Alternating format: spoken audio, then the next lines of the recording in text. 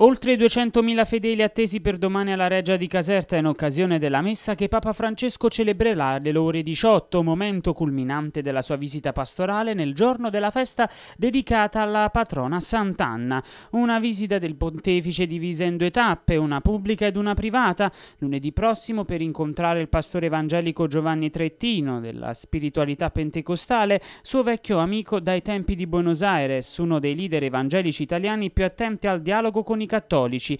Il tutto durerà circa quattro ore e si svolgerà interamente nell'area della Reggia. Papa Francesco partirà in elicottero alle 15 dall'eliporto del Vaticano per atterrare alle 15.45 in quello della scuola sottufficiali dell'aeronautica militare presso la Reggia di Caserta. Alle 16 è previsto l'incontro con i sacerdoti della diocesi nel circolo ufficiali dell'aeronautica, sempre nella Reggia. Alle 18 la messa sulla piazza antistante la Reggia Borbonica. L'omelia sarà l'unica l'unico discorso pubblico previsto nella giornata. Finita la celebrazione alle 19.30, il Papa ripartirà in elicottero, con arrivo in Vaticano alle 20.15. Enorme lavoro di prefettura, questura e comune che hanno predisposto in tempi brevi tutte le misure di sicurezza necessarie. La visita del Santo Padre è stata infatti ufficializzata solo giovedì scorso. Dall'incontro avuto in Vaticano a Santa Marta il 19 giugno scorso con alcuni pastori evangelici è nata la decisione del Papa di recarsi a Caserta visita. Inizialmente la visita doveva essere solo privata, ma la coincidenza il 26 luglio con la festa patronale di Sant'Anna e il fatto che le indiscrezioni sul suo arrivo erano cominciate a circolare